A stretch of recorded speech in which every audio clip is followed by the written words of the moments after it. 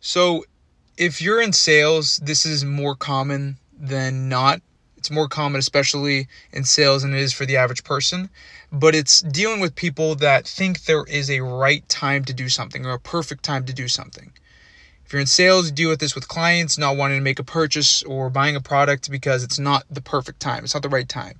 As well as friends or family that have like what seem to be amazing ideas, but the time is not right for whatever reason. Financially, it's you know it really comes down to comfortability. They just don't really want to face the fact that it's going to be tough and it's not not going to be comfortable. I can tell you from personal experience, whenever I've tried to wait for the right time, something bad happens in between then and that right time. I actually get uh, pushed back a step. It's never going forward, personally at least. So if you have an idea if you want to do something, if you want to go run that marathon or um, get into sales full time, if you want to quit your job and try a new a new um, try to get into a new industry or a new career, the worst that can happen is it doesn't work and you go back to your job. Or the worst that can happen is you lose a little bit of money.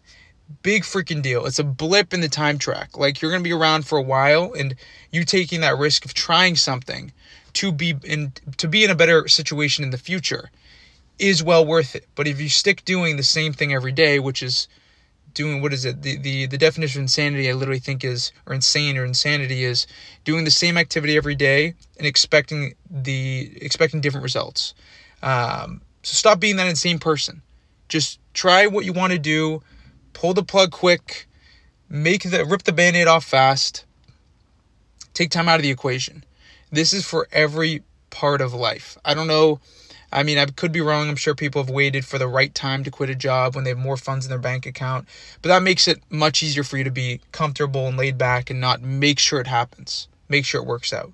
So take this. If there's something you're on edge about, whether it is, you know, you want to join a bodybuilding competition or you want to get in the sales industry or you want to start a new career or start a new or create a new business, create an app or I don't know anything anything above. If this is if there's something in your life that you're you're dealing with, just know that just pulling the plug and just taking initiative right away has been the safest way for me to do it. Entrepreneurs around me, a lot of their stories come from that. So take this. Hopefully, you can use this and it's applicable. Thanks, guys.